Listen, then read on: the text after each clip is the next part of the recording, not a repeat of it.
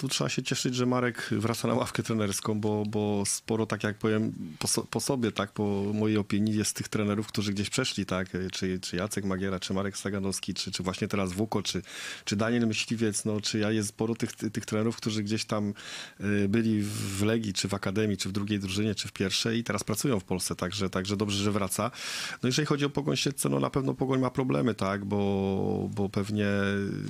miejsce, które teraz w drugiej lidze jest, y, no nie zadowala nikogo i to jest zespół, który ma przede wszystkim i, i klub i miasto, które ma bardzo dobrą bazę. I myślę, że tutaj też jest współpraca z Legią i, i Marek y, no pewnie będzie chciał stworzyć zespół, który powalczy o coś więcej, tak, niż tylko gdzieś tam y,